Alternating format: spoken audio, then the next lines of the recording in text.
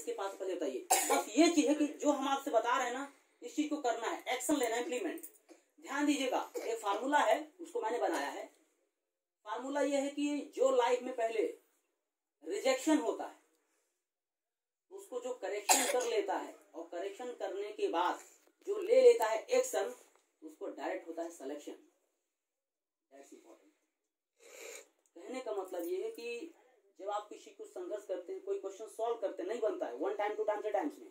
तो आप बोलते हैं कि मुझसे क्वेश्चन अब आएगा ही आप गिव अप कर देते हैं, हार मान लेते हैं। लेकिन आपके अंदर एक जीत होनी चाहिए। ये कि क्यों नहीं आएगा? जरा गौर कीजिए।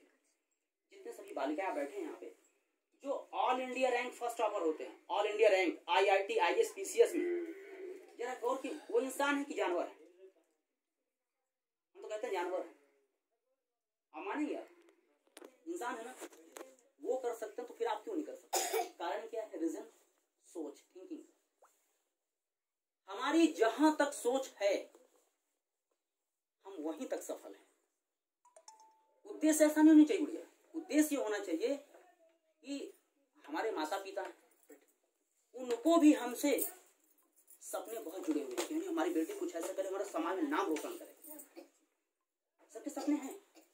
इसीलिए कहते हैं माँ बाप की औलाद होती है, लेकिन माँ बाप को धन्य कर देने वाली औलाद बहुत कम होती है। कहने का मतलब ये है कि आप सब आप सब वो काम करें मिल करके कि जैसे आपका सिलेक्शन किसी अच्छी फ़ील्ड में हुआ है, मान लीजिए आप यूपीएससी की तैयारी कर रहे हैं।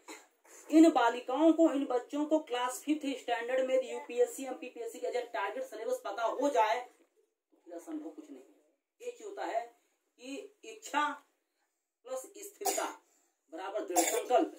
और दृढ़ संकल्प, धन, परिश्रम बराबर सिद्धि। एक फार्मूला है। हम क्या करते हैं? सुबह वार्तालाप होती है। एक सेकंड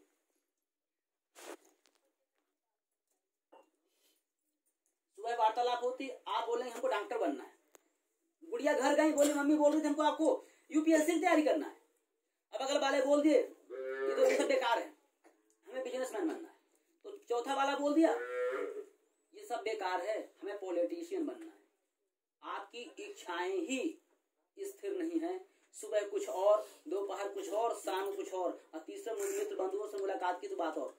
आपके अंदर दृढ़ संकल्प नहीं है। कहने का मतलब माता पिता जन्म के साथी हैं कर्म के साथी नहीं है। आपको उन्होंने जन्म दिया है। ये आपका दायित्व है, आपका जीवन में निर्णय लेने का। आपके या का सौभाग्य का विषय हम कुछ कर सकते हैं। जीवन में जो इंसान कुछ नहीं कर सकता वही आपको बोलेगा कि आप ये काम नहीं कर सकते। यदि यदि मैं एक प्रतिशत, एक फ़ीसदी हम काम कर सकते हैं तो मैं आपसे यही बोलूँगा कि you can do it is better than to be आप मुझसे बहुत अच्छा कर सकते हैं। क्यों? क्योंकि हम एक परसेंट तो आप कर सकते हैं। जो इंसान कुछ नहीं कर सकता ना, वही बोलेगा, इसमें आपको सोल्यूशन नहीं होने वाला है। आप जैसी बालिकाएँ खेल की दुनिया में, चाहे वो संगीत की दुनिया में कहाँ पे नहीं है। As air force UPSC I S PCS में कहाँ नहीं है।